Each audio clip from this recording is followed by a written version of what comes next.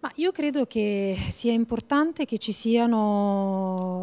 diversi candidati, più candidati che abbiano voglia di mettere in gioco le loro idee, i loro programmi, i loro progetti, perché di questo si tratta. Eh, ritengo però che eh, ciascun candidato dovrebbe eh, farsi un esame di coscienza e capire se eh, la sua battaglia è una battaglia per la leadership del Paese oppure per conquistare posizioni all'interno del partito.